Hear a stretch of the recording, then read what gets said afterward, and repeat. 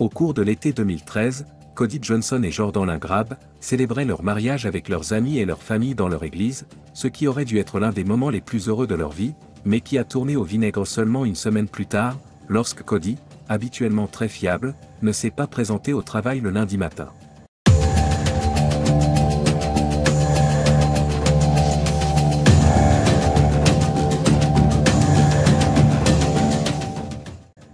Il n'avait pas été vu depuis la nuit précédente, et les amis et la famille ont craint le pire. Les recherches n'ont pas été longues pour retrouver Cody, mais elles n'ont duré que quelques jours. Mais cette courte période a été confuse, parsemée de soupçons, d'histoires contradictoires et de nombreuses questions sans réponse. L'une d'entre elles était la suivante, pourquoi Jordan Graham, la jeune mariée rougissante, était-elle mêlée à tant de vie? Jetons un coup d'œil. Kalispell, Montana se trouve au nord-ouest de l'État et constitue une sorte de porte d'entrée vers le parc national des glaciers. La région se caractérise par des sommets montagneux, des sentiers alpins, des lacs étincelants et une faune abondante. C'est dans ce cadre pittoresque qu'un jeune couple apparemment bien intentionné s'est rencontré et a commencé à se fréquenter à l'automne 2011. Cody Johnson, un fanatique de voitures de 23 ans, a dit à ses amis qu'il ne voulait rien de plus que de rencontrer une fille d'église, de se marier et de fonder une famille. Les étoiles semblent s'aligner pour Cody quand, en octobre, après avoir quitté l'église un dimanche soir, il a posé les yeux sur Jordan Lynn Graham, 19 ans. Jordan était tout ce que Cody espérait trouver chez sa future épouse, et il est rapidement tombé amoureux d'elle. D'après ses amis, Jordan était beaucoup plus réservé et introverti que Cody, qui était plutôt bavard et extraverti. Le contraste était saisissant. Mais au fur et à mesure que leur relation évoluait, des amis bienveillants ont fait remarquer que les deux formaient un couple équilibré. Leurs personnalités différentes se complétaient. Pour beaucoup d'autres proches de Cody. Cependant, il s'agissait d'un couple étrange, dans lequel Cody semblait les prix d'amour, tandis que Jordan semblait parfois simplement indifférent. Malgré cela, les intentions de Jordan étaient claires. Elle a déclaré à un ami proche que tout ce qu'elle voulait, c'était rencontrer un homme gentil et se marier. Je veux être une mère au foyer et me contenter de la moitié de ma famille. Cody travaillait pour Nomad, une société internationale de services de communication et de services informatiques. Peu de temps après, il a économisé suffisamment d'argent pour acheter une bague de fiançailles. Il a fait sa demande en décembre 2012. Jordan a accepté avec joie et ils ont fixé la date de leur mariage à la fin du mois de juin de l'année suivante. Le mariage a eu lieu à Woodland Park à Kalispell, en présence d'amis de la famille élargie et de la communauté religieuse. À 21 ans, Jordan se lançait dans une nouvelle vie et les émotions étaient vives. Les invités du mariage ont rapporté que Jordan avait sangloté en descendant l'allée. Lors de la réception, Kimberly Martinez, la demoiselle d'honneur, a porté un toast au nouveau couple. Jordan avait demandé à un compositeur californien d'écrire une chanson spéciale pour son mari. Cette chanson a été jouée lors de leur première danse en tant que couple marié. Les jeunes mariés ont passé une journée de lune de miel à Big Fork, à une demi-heure de route de Kalispell. Ils ont repris le cours normal de leur vie professionnelle. Le jeune couple commençait officiellement à vivre ensemble et peut-être à fonder une famille. Une semaine plus tard, le 8 juillet, le superviseur et ami de Cody, Cameron Frederickson, était au travail le lundi matin et devenait de plus en plus inquiet. Cody n'était pas encore arrivé et il n'avait pas l'habitude d'être en retard ou de ne pas être contacté. Cameron a envoyé un SMS à Cody vers 8h30 ce matin-là, mais n'a reçu aucune réponse. Deux heures plus tard, il a téléphoné, mais a été directement mis en relation avec la boîte vocale de Cody. Pendant le déjeuner, il a commencé à appeler autour de lui pour voir si d'autres amis avaient des nouvelles de Cody, mais personne n'en avait. Puis en après-midi là, Kevin a reçu un message de Jordan qui l'a vraiment inquiété. Elle lui demandait si Cody était arrivé au travail ce matin-là. Jordan a envoyé un message similaire à Sherry, la mère de Cody, mais elle n'avait pas non plus eu de nouvelles de Cody ce matin-là. Les membres de la famille ont été contactés et l'inquiétude grandit. Sa femme devait certainement savoir où le chercher, mais Jordan n'en avait aucune idée. Elle raconte à Cameron que Cody et elle se sont disputés pour faire avant. Après cela, Cody avait eu besoin de se défouler et il était parti. Elle a envoyé un message pour dire que des amis en voiture étaient venus le chercher en dehors de la ville. Je n'étais pas là. Mais la dernière chose que j'ai entendue, c'est qu'il allait faire un tour avec ses copains de l'extérieur. Après avoir appris cela, Cameron s'est mis à la recherche de Cody. Au fur et à mesure que la nouvelle se répand, les amis et les membres de la famille de Cody commencent à se rassembler à son domicile avec Jordan. Plus tard dans la journée, Jordan a expliqué à son jeune frère et à deux des amis les plus proches de Cody qu'elle avait découvert que son téléphone portable et ses clés de voiture avaient été laissés dans leur garage. Lorsqu'il était parti brusquement avec ses amis le dimanche soir, Jordan les avait vus sortir de la voiture. Jordan les avait vus sortir de l'allée et n'avait plus entendu parler de lui depuis. Dans les jours qui ont suivi la disparition de Cody, Cameron Frederickson s'est introduit dans la maison de Cody et Jordan. La porte arrière n'avait pas été verrouillée. Il cherchait désespérément des indices sur ce qui était arrivé à son ami, et il ne faisait pas confiance à la nouvelle femme de son ami. Il n'avait jamais cru que ce mariage fonctionnerait. Mais maintenant, il craignait quelque chose de bien pire qu'un divorce.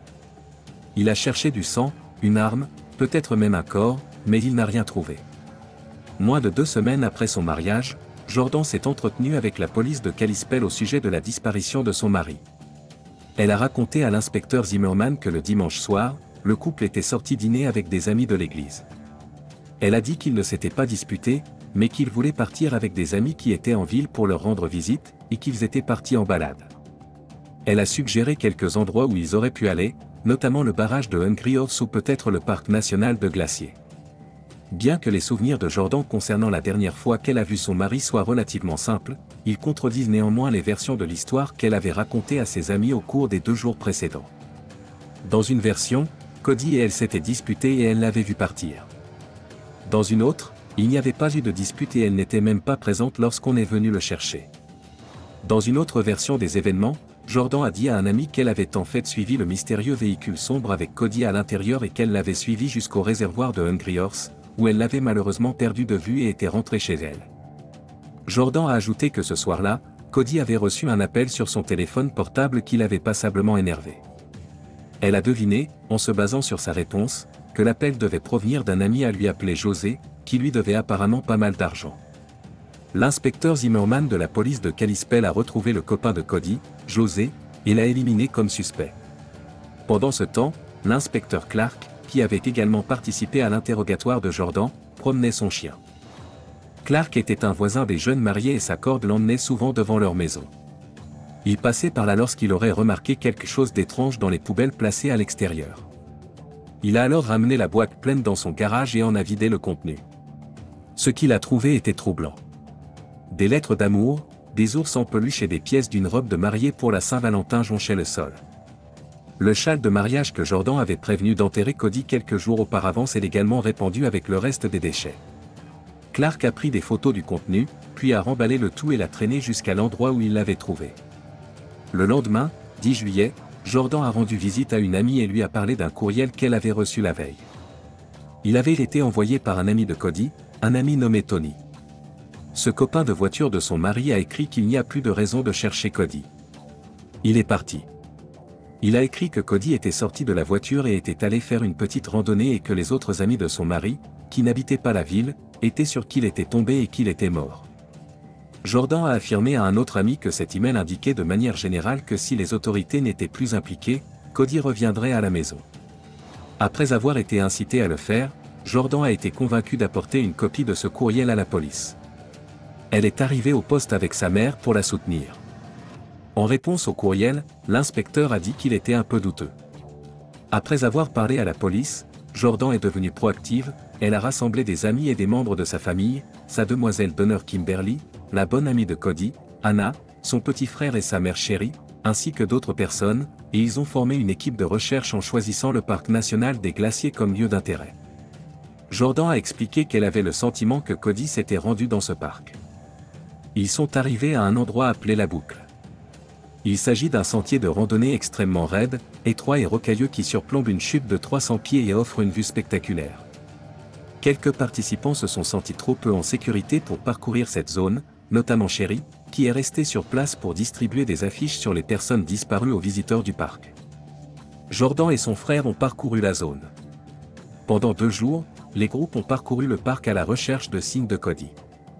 Le deuxième jour, en descendant la pente abrupte de la route et en grimpant sur une falaise, Jordan s'est dirigé vers un ruisseau situé à des centaines de mètres en contrebas. Elle a appelé son frère, c'est lui elle avait miraculeusement découvert le corps de son mari dans le parc national des glaciers, qui s'étend sur un million d'hectares. Cody a été récupéré par les gardes forestiers qui sont descendus jusqu'à son emplacement avec l'aide de cordes d'escalade, d'un équipement et d'un hélicoptère spécialement commandé et qui l'ont sorti de la zone. Cody était tombé face contre terre dans un ruisseau, avec une fracture du crâne de 8 pouces au niveau du front. Sa position suggère qu'il est tombé la tête la première du clip situé au-dessus, celui-là même sur lequel sa nouvelle femme s'est tenue et a jeté un coup d'œil pour le trouver quatre jours plus tard. Un objet étrange a été trouvé avec lui et un ou deux autres manquent à l'appel. À moins de 100 mètres en amont se trouvait une bande de tissu noir. Ce tissu était plus proche de son corps que l'une de ses chaussures, qui se trouvait à 150 mètres en aval de sa position. Aucune clé de voiture n'a été retrouvée sur le corps de Cody, pas plus que son alliance. Jordan savait qu'elle était susceptible de trouver son mari à cet endroit. Elle a raconté aux gardes du parc qu'il avait toujours dit qu'il aimait sortir des sentiers et qu'il voulait faire le sien en dehors des sentiers battus. Lorsque quelqu'un lui rendait visite, il voulait l'emmener sur des routes ou des randonnées folles. Il essayait souvent de trouver des sentiers par lui-même, que ce soit dans une voiture tout-terrain ou à pied. Mais qu'en est-il de son intuition fortuite qui l'a conduite directement à ce sommet précis de la boucle? Elle a dit au ranger que c'était un endroit qu'il voulait voir avant de mourir. Cette déclaration n'était pas assez inquiétante les amis et la famille ont eu des frissons en entendant cette explication. L'histoire n'avait aucun sens. Tous ceux qui connaissaient Cody savaient qu'il avait le vertige. Les soupçons à l'égard de Jordan n'ont fait que s'accentuer lors des funérailles de Cody. Il n'y a pas de livre de jeu pour le deuil, mais personne ne s'attendait à voir la jeune veuve joyeuse, bavarde ou envoyant ouvertement des SMS sur son téléphone tout au long du service pour presque tous ceux qui ont observé son comportement la façon dont a pris neuf jours ne semblait pas être en deuil. Kimberly était choquée par le comportement de son ami. Mais pire encore, elle pensait qu'il s'était passé plus de choses avant la mort de Cody que Jordan ne le laissait entendre. Les messages textuels de Jordan à sa demoiselle d'honneur quelques jours seulement après le mariage montraient un mariage qui risquait déjà de s'effondrer. Elle a écrit « Je n'arrive pas à me ressaisir. Je n'ai pas arrêté de pleurer depuis que j'ai assisté à son mariage. J'aurais aimé que quelqu'un me demande directement si c'était ce que je voulais je ne peux pas revenir en arrière et changer quoi que ce soit. Je devrais être heureuse. Et je ne le suis pas. Puis elle a révélé la raison principale de son malheur. Après avoir assisté à un match de baseball, elle a écrit à Kimberly qu'elle n'était toujours pas sûre de pouvoir rentrer chez elle après avoir vu le match. Kimberly a dit qu'elle avait compris que les choses dont Jordan parlait dans ses textos faisaient référence à la consommation du mariage. Jordan a dit à son ami qu'elle avait l'intention de faire part de ses sentiments à Cody et de lui suggérer d'annuler leur mariage. C'est le dernier message qu'ils ont lu. Je suis sur le point de lui parler. Il s'emporte vite, alors je vais flipper. Mais je suis très sérieuse. Si tu n'as pas de nouvelles de moi ce soir. Il s'est passé quelque chose. Après que Cody ait été évacué du parc par avion, Jordan a été invité au poste de police une fois de plus. Lorsqu'elle est entrée, elle s'attendait à parler aux mêmes inspecteurs de police qui avaient mené ses entretiens précédents. Au lieu de cela, elle a été reçue par le FBI. Le parc national des glaciers relève de la juridiction fédérale et la nature suspecte de la mort de Cody a déclenché une enquête de grande envergure. Jordan a d'abord réitéré une version de l'histoire qu'elle avait déjà racontée aux détectives locaux entre sa première et sa troisième visite. Cependant, les enquêteurs ont eu l'occasion de vérifier son histoire à 21h17, ce dimanche soir 7 juillet, lorsqu'une caméra de surveillance placée à l'entrée du parc national des glaciers a photographié Jordan et Cody entrant dans le parc. Une copie à plus haute résolution de cette photo montrait clairement les deux personnes à l'intérieur de la voiture. Lorsqu'on lui a présenté cette photo, sa version des faits a encore changé. Ils se disputaient à la maison lorsqu'ils ont décidé ensemble d'aller se promener dans le parc glacier. Malgré l'obscurité et la difficulté du sentier de randonnée, ils se sont garés à la boucle et ont continué à se disputer en marchant dans le parc. Elle a décrit la dispute alors qu'ils marchaient sur le sentier qui menait à une falaise très dangereuse où ils se sont arrêtés et ont continué à se disputer. La chute de Cody de la falaise selon elle avait été un horrible accident. En un seul mouvement fluide. Il avait attrapé le bras de Jordan qui s'était retourné et l'avait poussé. Conformément à sa mission c'est-à-dire aux faits réels, elle a réussi à le pousser des deux mains. Elle a réussi à le pousser avec les deux mains sur son dos par-dessus la falaise. Il serait donc tombé la tête la première en bas de la colline. Après l'avoir vu tomber, elle n'a pas appelé à l'aide. Elle est retournée à son véhicule et a envoyé une série de SMS à une amie de 17 ans. Elle discute des pas de danse à faire lors du mariage. Elle a envoyé à Kimberly des messages vagues et de détresse, mais elle n'a pas mentionné ce qui s'était passé. Le FBI n'a pas cru à la nouvelle version de Jordan. En décembre 2013, à 22 ans, Jordan Grant a été jugé pour meurtre au premier degré.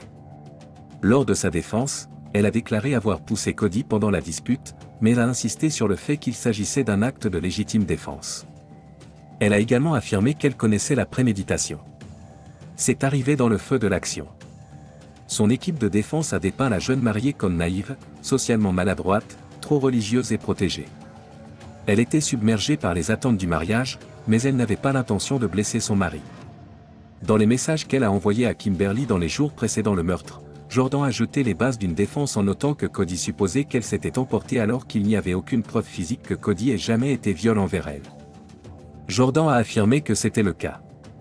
Elle a tenté de le dépeindre comme quelqu'un de contrôlant et craignant qu'il la touche. L'accusation a contesté les affirmations de Jordan. En outre, ils ont ajouté à leur argumentation que Jordan avait planifié le meurtre pour en faire une sorte de surprise spéciale pour son mari. Ils ont d'abord souligné les messages de mauvais augure envoyés à son amie Kimberly, qui suggère qu'elle voulait rompre le mariage et qu'elle préparait l'affrontement tout au long de la semaine. Le morceau de tissu noir retrouvé juste en aval de son corps a probablement été utilisé comme bandeau. Selon cette théorie, Cody a eu les yeux bandés par le tissu, a été conduit au bord de la falaise par la femme qu'il venait d'épouser, puis a été poussé du haut de la falaise. Bizarrement, c'est Jordan elle-même qui a évoqué le bandeau lors de son entretien avec la police, lorsqu'elle a raconté que Cody s'était vanté auprès d'elle d'être capable de naviguer les yeux bandés dans la neuropathie de la falaise escarpée. Trois témoins, un membre de la famille et deux amis, ont déclaré au jury qu'ils avaient parlé à Cody de ses projets pour le week-end. Il leur avait dit qu'il n'était pas disponible ce dimanche parce que sa nouvelle femme avait prévu une surprise spéciale pour lui. Après quatre jours de témoignages, les plaidoiries finales devaient commencer, mais à ce stade, le procès a été interrompu. Jordan avait décidé d'accepter un accord de plaidoyer, et elle a admis avoir commis un meurtre au second degré. Le juge Malois aurait été surpris par cette décision. Il lui a demandé si elle comprenait ce qu'elle faisait. Dans les 15 prochaines minutes, vous allez peut-être vous engager à aller en prison pour le reste de votre vie.